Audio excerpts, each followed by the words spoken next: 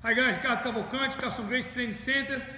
I'm here today to visit my friend Robertinho, from Team Man, from Virginia, Renzo Grace Association. Renzo like a family for me, it's my brother. Yeah, this house is a Renzo Grace house too. He like baseball joke. Baseball joke is very good because it, the goal for baseball joke I give the guy a false security, sense security, or trap him. How? Jacaré like too much disposition too. Let's go, just suppose que was in my guard, butterfly, I work here. My goal é eh, put my hand deep inside the lapel. I open the gap, put, see, he's not to be scared because if I do this, he's to be exact. So I do like this, like this.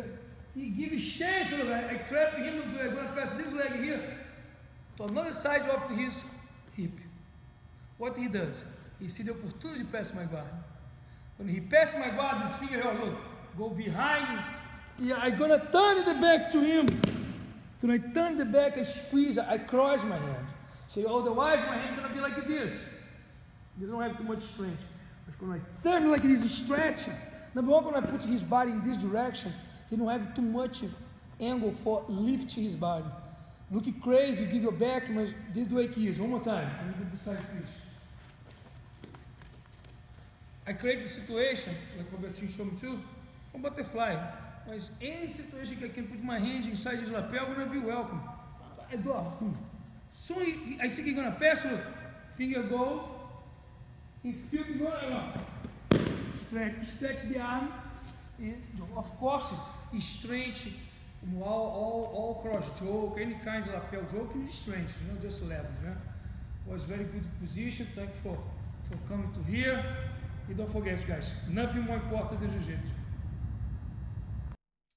Hi, guys. Uh, I want to say thank you very much for watching my videos. Please keep sending your questions. I'm to be very happy to post the next video. And I'm also to put your name in the video.